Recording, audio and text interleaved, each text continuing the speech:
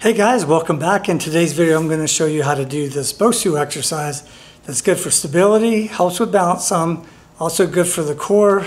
Uh, can be a little humble if you're not used to doing a Bosu because this one's kind of tough, but um, let me show you how, how to do it. All right, so here's the Bosu ball. Bosu stands for both sides up. So we're going to use the blue side up because the other side is going to be very uncomfortable if you try to put your elbow on it. So on this one for the core, what I want to do is rest my elbow here, feet are extended to the side. My bottom foot, I'm gonna have most of my weight on.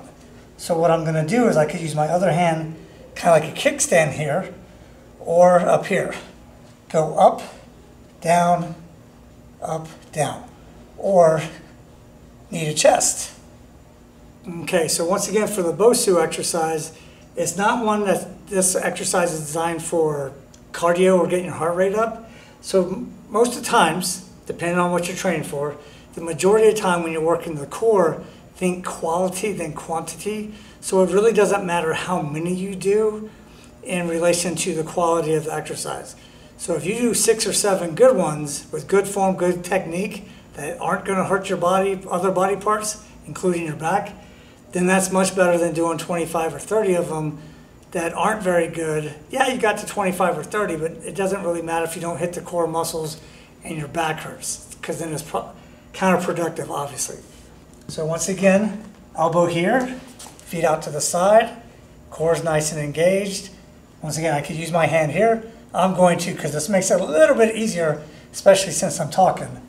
Knee to chest, knee to chest. So the tempo is kind of like a one, two, three, one, two, three.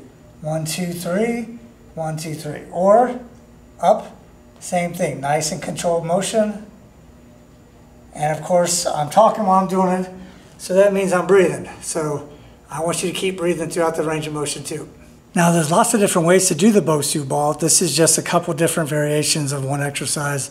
So you could check out my other videos and see some of the other ones that you know may or may not work for you. They're not for everybody, so just keep that in mind.